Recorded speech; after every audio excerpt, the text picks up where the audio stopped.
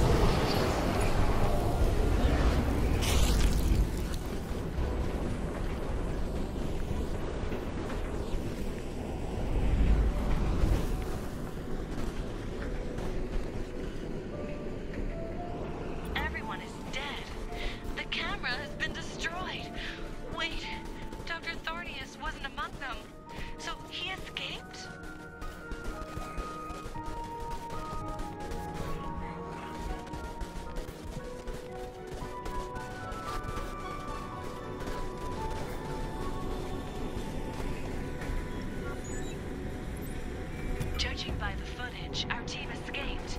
They took out the Kelps and headed for the camp in the valley.